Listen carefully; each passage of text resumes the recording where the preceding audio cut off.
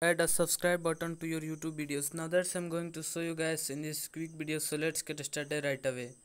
Now the very first thing you have to do is you have to go to the chrome browser. You don't need to go to the youtube app. You have to go to the chrome browser and then you have to search for the youtube.com and after searching for the youtube.com you come to this page.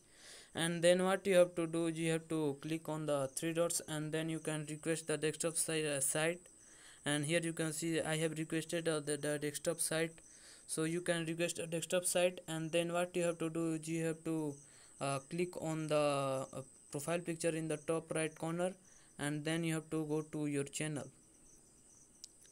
And after going to your channel what you have to do is you have to when you zoom in a little bit uh, to the top of the page you can see the customize channel. In the top of the page you have to click on the customize channel.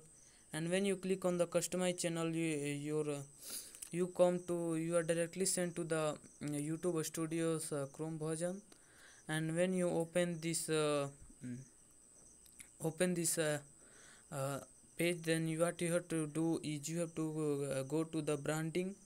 And then here you can see the you can ch change the picture of the mm, your profile picture. It means you have to you can change your lo channel logo you can change the banner image uh, and then you can choose the change the video watermark.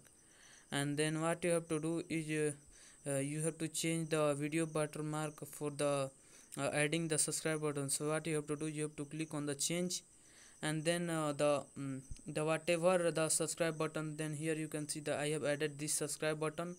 Then you can uh, choose the then you can add the subscribe button and then clicking on the done and then you can uh, this uh, picture is too small so you can you have to uh, upload uh, you have to upload uh, the a small picture for uh, for fitting this size.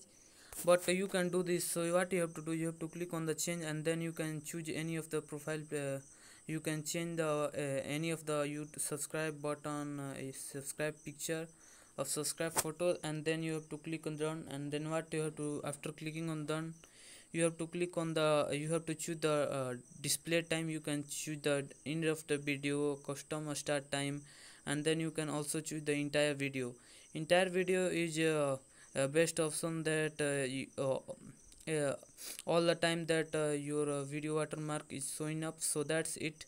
And after doing this change what you have to do is you have to uh, click on the publish here and then uh, your uh, channel is your channel is published.